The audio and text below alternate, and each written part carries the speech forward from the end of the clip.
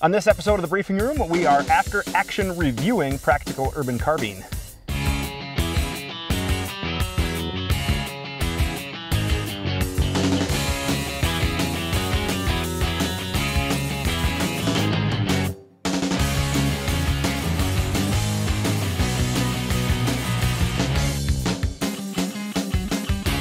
Hey guys, my name is Dave Timm. Thank you very much for checking out this video. I'm very privileged to have Steve Fisher from Sentinel Concepts join us for this video. Steve, thank you very much. Dude, it's a pleasure being back up in Minnesota with you. We absolutely love it. awesome. We absolutely love it. Now, we just wrapped up Practical Urban Carbine that was instructed by Steve for three days. Uh, we were the host here in the lovely Brainerd area of Minnesota. And I got to say, we had amazing weather.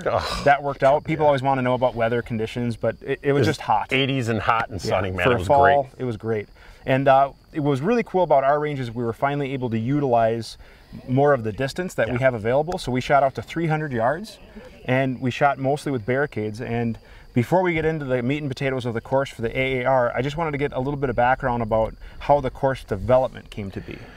The, the, the course kind of came about, I think, out of necessity. Uh, I started to see a lot of dudes that were coming into classes that were 25 yard carbine shooters, Yeah. which th- that's great. Flat range drills, home defense stuff, up drills all the time. That, that's fine when we're starting to learn things, but understand it's a carbine, it's a pseudo rifle. You know, Mm-hmm. it's capable of great distance, even out to 600 plus yards. Guys were losing the fundamentals of marksmanship, basics of understanding true zeros, truing your gun, setting their guns up for maximum point blank range success. I mean, you never know, especially law enforcement capacity. Uh, even the you know good earth walker who has a gun, you know, for defense, those shots can come at any point, any place in time, and at any distance. So I started to look at it more and more and tell myself, you know what? And after seeing some guys who just even couldn't get zeros or really hard on the gun at 100 yards, I was like, man, this this needs to come back, and dudes need to become riflemen again, based on what this country was built off of. So that was important, and that's kind of where it came from. Cool. And in my reality, you know, law enforcement in a rural area, I mean, we have a, a city-ish, you know, I don't want to call it urban, but a small town USA is really where I work. And we have some rural areas and, you know, finding distances is not hard. You know, big shopping malls, big schools, big churches, parking lots, neighbor driveway, you know, Farmer John or whatever it might be. Those distances are a reality for me. So that's why I was really interested in having you back for this course with that distance emphasis. And uh, we had a great group of students. Solid core. yeah, 12, 12 shooters, including the hosts, and guns. You know, mostly AR 556 guns. However, we had uh, Andy and I were running our AR 308s. He had an LMT out of Midwest Industries, and then we also had a Scar Heavy. Uh, he actually had two Scar Heavy, the Two twins. scar heavies. Yeah, he had Yeah, the one is twins. none, two is one. My scar heavy. Yeah. So we, we had a lot of the heavy caliber. Plus, I had my Midwest 308 as well with me in the bag, Yeah. too. So we had, we had a lot of heavy guns in the class, which was great to see too. Yeah, so we had a, a wide variety, and pretty much uh, everybody except for a couple were running low power variable optics. We had Trijicon, we had Vortex, uh, we had Swarovski, Kahles, Kahles, VCOG. uh, VCOGs from Trijicon. Yeah. Um, I didn't see any Leupolds. I Nope. didn't see any Leupolds, which is surprising. You usually see at least one Leupold in the class, but there wasn't. Um, a lot of night dots. force, a lot of Nightforce. A couple of you know the typical Aimpoints showed up, and that was great. Uh, we had one of the uh, Sig optics Mm-hmm. and a Strike Eagle. Yeah. And the Strike Eagle did end up having some issues holding adjustments. So that did. went down. That was swapped out during class, which was unfortunate. But Happens. you know, sometimes that's why you go to training is to wash out your gear. And you know, one thing to note on optics is I was running an evaluation sample of the Trigicon Acu Power 1 to 8. Yeah. And I found that overall I liked the scope a lot. I'm going to be doing a, a full review if you guys are interested in that. That'll be a separate video, but it was great to take the course with that optic because I could really kind of stretch it out a little bit and also kind of learn you know, not just go to a range one day and shoot at some Sure. paper, you know, actually get some up down and a barricade work and kind of see where the optic is. But overall, it's a nice optic. Yeah, it is. And I know you had some input in developing that too. I, I- gave him a little bit of stuff with it, not much at that point in the phase of it, but it is, it's a good optic. It's it's fairly robust, typical Trijicon quality in that point. You know, uh, again, it's not for everybody. It just Yeah. depends on what your needs are. Take a look through them. That's why people come to class. You know, you get Absolutely. A, you know, this class there was probably you know thirty thousand dollars worth of optics here. Yeah. You you could turn around literally and look through all the glass that was here from base end Strike Eagle to Swarovski and say, wow, that's great, but is it two thousand dollars worth of great for me and my needs? Probably not. But is this thirteen hundred dollars scope good enough for me? And absolutely, and that's a good thing about coming to class. You get to see a variety of things here. Yeah, so no real big gear issues. No. So let's get into the meat and potatoes. Now, day one was all day was zeroing, talking about effective zeros, talking about the pros and cons versus the 50, 100, 200, and then a lot of time, like I said, literally all day was actually just zeroing and holds and ballistics, uh, lecture as well as shooting out to 200 yards. And then we even did some holdover at 300 towards the very end. So that was a, a long slow-paced day. It is. But I think it's important for the students to get that data of knowing, a, getting them to hit at those distances consistently, and then making adjustments and seeing what the round does actually, you know, is impacting where they're holding. So I think that was a good day. It was a slower pace, but I think a lot of knowledge was gained. It is, and it's a, it's a necessity. It's kind of the evil of the course. You need to have that information. You need to develop that data. Uh, the thing that usually hinders guys when they come to class like this, ammo selection. Sure. We, we saw that. Um, Yep. You know, a lot of it becomes, hey, we have XYZ ammo. I understand budgets. I understand money, home life. I get that. You get what you get when you can get it and you use it, and that's great. Uh, ammo will hinder your performance at 100, 200, 300 yards, especially when shooting for accuracy groups at those distances. Yeah. The guns are quite capable of it. The optics are quite capable of it. You know, the shooters are generally really capable of it. They just haven't realized it yet. But the ammo is the key ingredient in that recipe a lot of times, and and that's the hard thing. You know, spending a couple bucks on some extra quality ammo Yeah. is well worth the frustration because by the time you shoot the same amount of ammo or even more in a lesser grade ammo and the frustration that sets in, Yeah. you would have been better off just going to the quality ammo right out of the gate, which some guys did that night after class. They went out and they bought some quality match ammo from one of the local stores, and they came back and were like, wow, night and day difference, and it would have saved them a lot of frustration on day one. Well, even finding the right quality ammo. Yes. Like I started out with gold medal match, and then I switched to an AMAX bullet uh, for day two, and I found that the groups were better with that. My gun, like the AMAX, better than the 168 gold medal. rifle twist, barrel lengths all play an important role in this and understand it. While it's not a precision based course for quote unquote, you know, precision rifle shooting, the guns are well more than capable of it today, especially with the quality of guns that are out there. So the ammo and the optic really play, but the ammo is really the bread and butter of it. Don't skimp on ammo. And then the other thing that I personally was really glad I made the investment in is a good quality trigger. Yes. And I know a lot of other students uh, talked about having a crappy trigger or talked about, hey, I'm really glad I have my Geissele or Hyperfire Sure. or I think.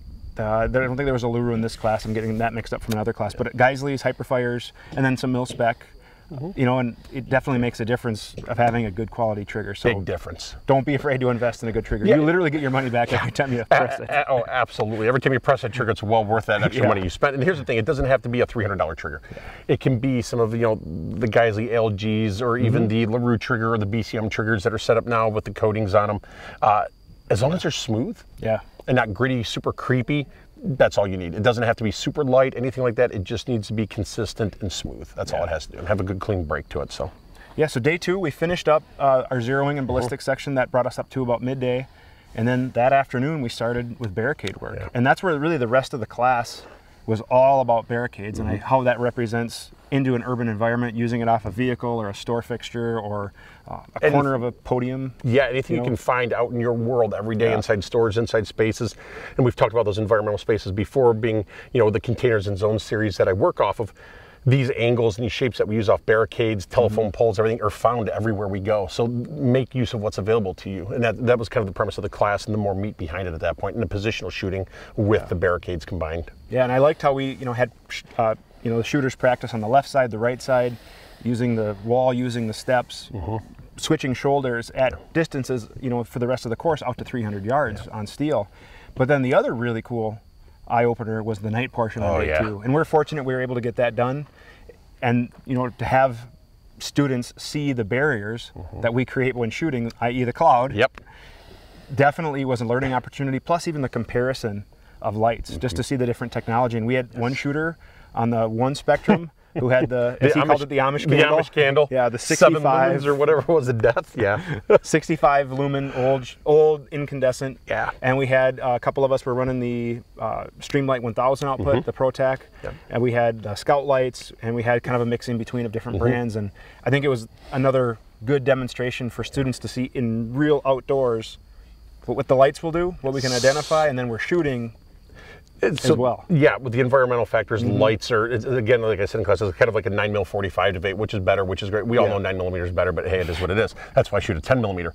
Um, just They don't make an 11. because they don't make an eleven actually, right? So uh, the thing is, this lights are a very subjective thing to guys depending on what they're doing. If it's a house gun, yeah, you can get away with a three, four, five hundred lumen light that has a lot of spill. Sure. Uh, if you're using a carbine, what I consider to its maximum effective range of the shooter and its ability to identify things, I may want a light that has a lot more throw, or a thousand lumen light, or you know, 1500, 2000 lumens, whatever's coming and whatever's out there now. Yeah. Um, so again, finding the right light for you Mm-hmm. is always a good thing, and that's a beautiful thing. Again, of coming to a class where you see a variety of lights, you say, "Oh, I was thinking about that pistol light." Tape switches were a big eye opener Yeah, for guys on exactly. barricades. Light placement on the barricades is huge. Yep. Um, that that was a big takeaway for a lot of guys. That and seeing exactly what the lights do in that dirty air, so that we like to call it, um, the particulate that's in the air, the carbon, the gases that come off from the environmental conditions, the rounds being fired, the temperature extreme changes, uh, how it affected the suppressors, low-powered variable optics, all those things come into play.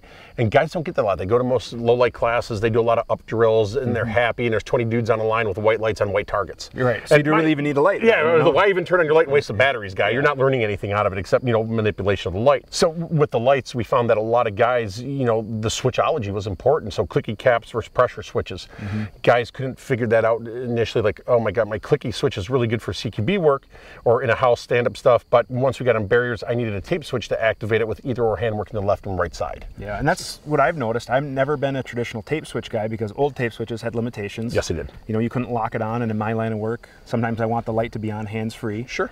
And now we're seeing the Surefire and Streamlights offering a constant on, a pressure on. Yes. And I noticed that with the barricade. You know, for me, you know, manipulating it, I'd have to reach over, activate the button, try to get the shot. Which is time. Now having a 12 o'clock pressure pad is something I'm definitely going to revisit. So I'm glad I got that out of this course too. It's awesome. Another aspect of the low light that I really enjoyed was the demonstration of IR lasers and night vision. You know, Ah. Yes. Mm-hmm. you had your night vision set up with the MAWL, and thankfully we were able to capture that on our infrared camera. That was great. But it was cool to see. It was pitch black for all of our naked eye. We couldn't see anything, but then all of a sudden we hear ping, ping, ping. The and we- steel's just and barking hear and sparking, steel. yeah. And you guys uh, watching this will actually be able to see that.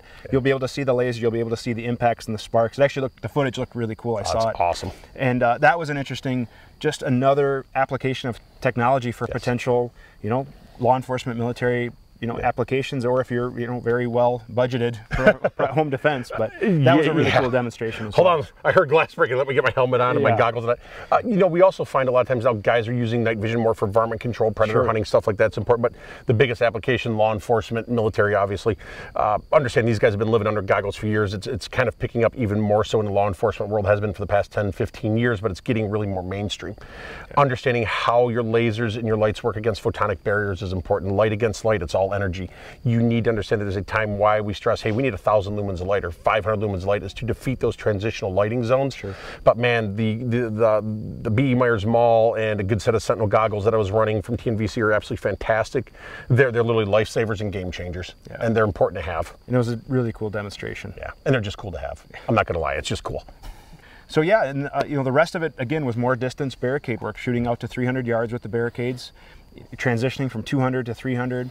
You know, kind of having to take your pace of okay, the 200 yard shot is, seems easier. Mm-hmm. You know, by contrast, and then you know transition to that 300. Okay, steady, find your reticle, find your hold. You know, make the shot. shots. And that's why zeros are important and having like kind of a maximum point blank range zero. You know, your zero is your 0 Mm-hmm. Nothing is truly 50, 200, 100, 300, you know, 25, whatever it is. Right. Your zero is your zero distance, and that's what you get. Um, understanding where to hold immediately to deliver that shot, finding that maximum point blank range for an eight inch chest circle is generally ideal for most fighting or practical carbines. Yeah. Uh, the other big thing was, you know, the left side barricade stuff. We're working off the Mm-hmm. left side shoulder. It's a confidence booster. Yes, we understand with distance and time and dependency of the type of weapons we're facing, that hey, I can stay on the right side of the gun, move the gun over in a position and, and engage the target much more exponentially, faster. Great. Confidence builder, though, if you can do it from the left shoulder at 300 yards, dude, in XYZ time, you can do it from the right side all day, even faster and quicker. So, again, while it's still important to know when you need to shoulder switch or cross shoulder transition and work from that offside, maximizing your coverage and the use of barriers and barricades is important. But it's mainly a big confidence booster. At 300 yards, if you can hit an 8 inch chest plate at that distance from the offside shoulder using a variable, you've got something going on. Yeah, and I think we definitely had a lot of skills building. Yeah. Well, Steve, again, I just wanted to thank you very much for coming out. It was a great three days of training. The, I thought the pace was good. It wasn't, you know, a go, go, go, high, you know, round count up drill Yeah. course, but it was more of a learning slow pace and then doing a lot of the barricade drills over and over to build that repetition, uh, repetition for skill building. I think maybe over the three days we probably shot an average of 600 odd rounds or so, right about there. Not a high intensity class by any means. Uh, some of the exercises on the barricades can get a little winding as, Yep. as far as the up down momentum of it, and you know Yeah. constantly moving around a nine pound rifle or eight pound carbine around.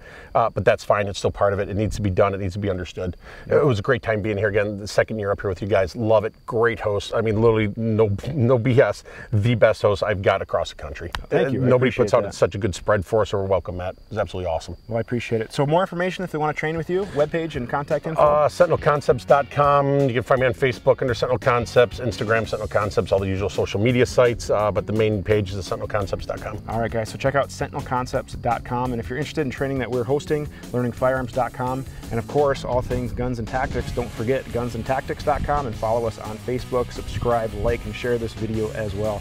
Thank you very much again, Thanks, Steve. Appreciate it, man. It's a great time being here. Thank you guys for watching, and we look forward to seeing you in future videos. Have a great day.